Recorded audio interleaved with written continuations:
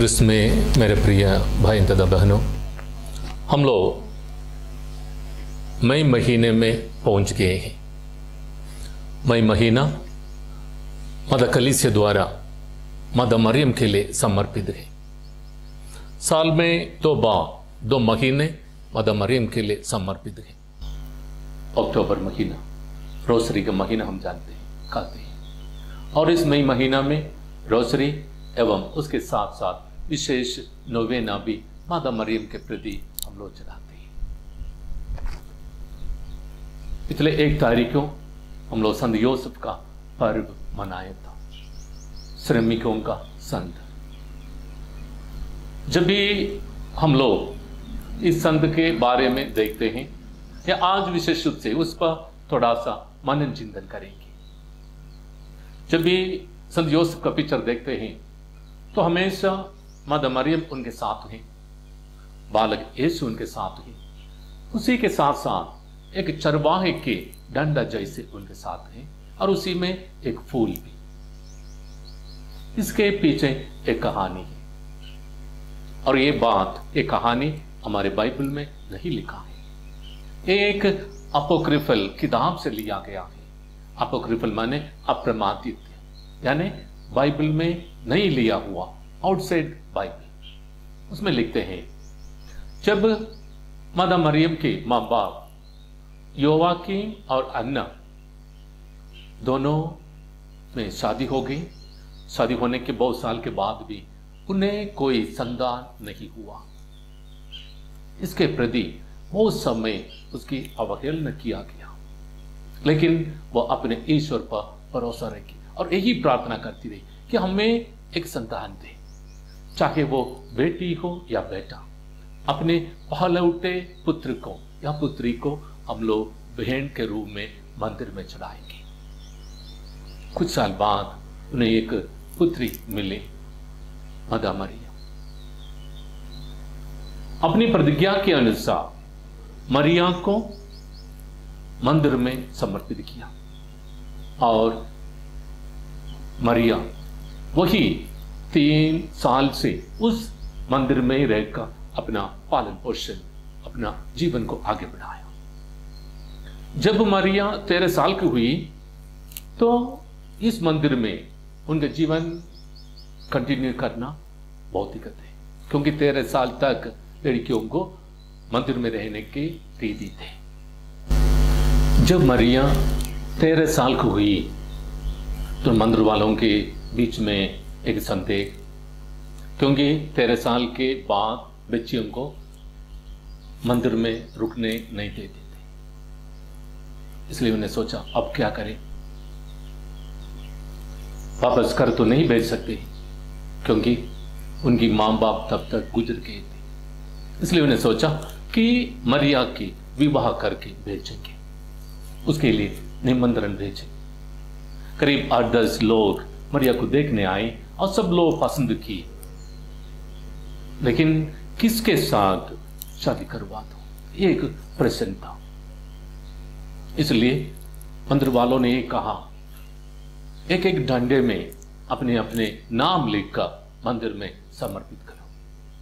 और उसके साथ प्रार्थना करेंगे, जो भी निशाना ईश्वर हमें प्रदान करेंगे, उसी के साथ इनकी विवाह होगी।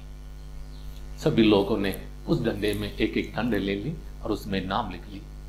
योसफ भी एक डंडा लेकर अपने नाम लिखकर मंदिर में समर्पित किया। इन सारे डंडों को मंदिर गर्भ में रखकर प्रार्थना किया। और यही सोचा कोई ना कोई एक निशानी ईश्वर द्वारा हमें प्रदान करेंगे। दूसरे दिन जब मंदिर खोला और मंदिर गर्भ पहुँच गई सारे ढंडो देखे, उसमें से सिर्फ़ एक ढंडे में एक फूल था। और वही डंडा यूसुफ के थे। इसलिए निर्णय लिया, मरिया की विवाह यूसुफ के साथ होंगे। और ऐसी ही कहानी आज भी प्रचलित है। जी हाँ प्रिय भाई बहनों मैंने बताया था, ये बात कोई बाइबल बेस्ड स्टोरी में नहीं, बल्कि अप्रमादित्य अपोक्रिफल किताब से लिया हुआ है। चाहे कुछ भी हो बाइबल हमसे कहते हैं, यूसुफ एक धर्मी थे। उसने एक धार्मिक जीवन बिताया था। जब हम पुराने समय में देखते हैं, उस समय में भी एक धार्मिक व्यक्ति थे। उत्पत्ति ग्रंथ अध्याय छह वचन नौ में कहते हैं। नौ के बारे में बताते हैं। नौ एक धार्मिक व्यक्ति होने के कारण ईश्वर उन्हें नष्ट करना नहीं चाहा। इसलिए उनसे कहते हैं कि उन जितने भी जल प्रलय हुआ, उससे बचने के लिए बहुत बना का, उसी में उनकी रक्षा उसी प्रकार धार्मिक जीवन बिताने वालों को अनंत जीवन प्राप्त होंगे अब प्रश्न एक है, इस धार्मिक जीवन हम कैसे बिता सकते हैं? कैसे जिएँगे धार्मिक जीवन? मित्रों, ये बहुत बड़ी बात तो नहीं। सिर्फ़ तीन बातों को याद रखें। सिर्फ़ तीन कार्य हम लोग कर तो ये अंध जीवन बिताने में कोई दिक्कत नहीं होगी। या हम एक धार्मिक व्यक्ति ज़रूर बनेंगे। सबसे पहले यूक्रिस्त में भाग लेना। पवित्र बलिदान हम चाहते हैं। हफ़्ते में एक बार या महीने में। लेकिन प्रभु ने कहा, मैं तुम्हारे साथ रहूँगा। दुनिया के अंत तक मैं तुम्हारे साथ रहूँगा। प्रभु का सान्निध्य हम इस युक्रिस्त में अपनाते हैं। जब हम ग्रहण करते हैं युक्रिस्त को, युक्रिस्त में भाग लेते हैं, उस समय हम ईश्वर के सन्निधि में हैं। ईश्वर के साथ हैं। इसलिए कोई अलग ले जाना, अलग कार्य करने की ज़रूरत नहीं पड़े। जब कभी हमें मौका मिले, इंतज़ार नहीं करना, सिर्फ़ संडे के दिन ही, इतवार के दिन ही हम जाएँगे। नहीं, जब कभी हमें मौके मिलते हैं, इस पवित्र बलिदान में भाग लेना, वो भी भक्ति से सारी संकट मिट जाएँगे। और दूसरा रोसरी माला माला बिनती अच्छा हम लोग इस माला बिनती को चलाते हैं कभी कभी व्यक्तिगत रूप से कभी पारिवारिक रूप से संत पापा योहन पाउलुस कहते हैं when we say the rosary we catch hold of blessed virgin mary and after that mary catch hold of us यानी जब हम ये माला बिंद चढ़ाते हैं तो उस समय हम लोग माता मरियम को पकड़कर चलते हैं। और ये माला बिंद चढ़ाने के बाद माता मरियम हमको पकड़कर चलते हैं। यानी हम सुरक्षित हैं। एक सुरक्षित जीवन बिताने के लिए, एक शांतिमय जीवन बिताने के लिए परिवार के सब मिलकर इस पवित्र रोसरी माला को चढ़ाना है। माँ, हमारी उस तकलीफ़ में भाग लेकर उसे मिटाएँगे। मालूम है जब काना विवाह उत्सव में दाखरस खत्म हो गई, माँ कहते हैं, इन्हें मदद करो और आज्ञा देते हैं, जो कुछ वो कहते हैं करने के लिए। और पूरी परिवार उस बेइज्जती से बच गए।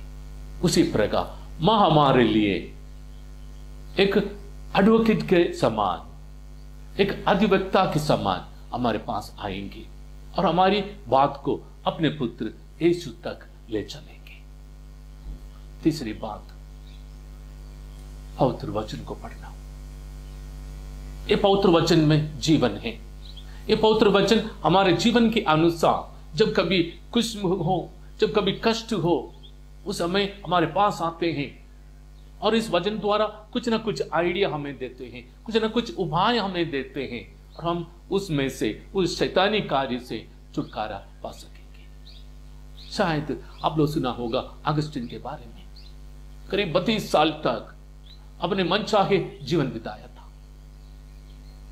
और जब उनकी माँ द्वारा इतनी सारी प्रार्थना की, कोई असर नहीं हुआ। लेकिन एक दिन जब वो बगीचे से घूम रहे थे, उन्हें एक वाणी सुनाई दिया। टेक एंड रीड लेकर पढ़ो। कुछ समय रुकने के बाद अगस्त आगे बढ़े।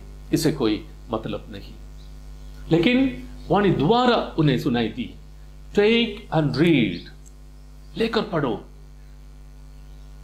अगस्टिन के मन में सोचा है इसमें कुछ ना कुछ है।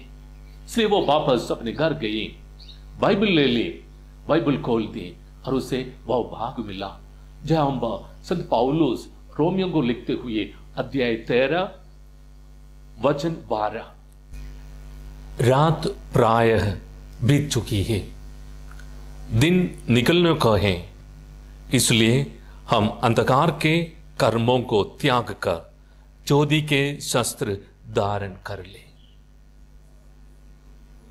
इस वज़न उनके दिल में, उनके दिमाग को टच किया है। और अन्य एक वाक्य। सुसमाचार। संत मार्कुस द्वारा रचित सुसमाचार, अध्याय आठ भजन छत्तीस। मनुष्य को इससे क्या लाभ? यदि वह सारा संसार तो प्राप्त कर ले, लेकिन अपना जीवन की गवा दे। मित्रों, इन दो वचन उनके जीवन में बहुत बदलाव लाया है। अपने जीवन में एक अलग तरीका को अपना लिया। बपतिस्मा ग्रहण की, पढ़कर एक पुरोहित बन गए और बाद में एक बिशप भी। और कलीसिया के लिए बहुत सारे किताबें उसने लिख लिया। बहुत सारे। यानी बाइबल वज़न से उन्हें एक नया जीवन मिला। भाई तो बहनों, सिर्फ़ ये तीन कार्य, अगर हम लोग भी अपने जीवन में लागू करते हैं बार बार दिन में इसको पढ़ते हैं तो हमारा जीवन भी धार्मिक बन जाएँगे। हमें अंत जीवन मिल जाएँगे। हमारा लक्ष्य है एक धार्मिक व्यक्ति बनकर अपने जीवन बिताने के लिए। हमने कई उदाहरण देख लिए। हमने देखा ये कैसे संभव है। तो आइए हम भी कोशिश करें ऐसे एक धार्मिक जीवन बिताने के लिए। विशेष रूप से इस महीने, जब मदा कलीसिया द्वारा हमें दिया गया है मादा मरियम के प्रति प्रत्येक रीति से भक्ति प्रकट करने के लिए, उनके नौवे नाम में भाग लेकर, उनके रोसरी माला, परिवार के सभी लोग मिलकर उस प्रार्थना को चढ़ाएँगे तो हमारे जीवन में शांति आएगी। हमारे जीवन के जो लक्ष्य है, उसकी पूर्ति हो जाएगी। और जिस प्रकार संत योसफ एक धार्मिक व्यक्ति थे। मैं भी, मेरे परिवार वाले भी एक धार्मिक जीवन बिताने में सक्षम होंगे पुनः आप सबको जय यीशु।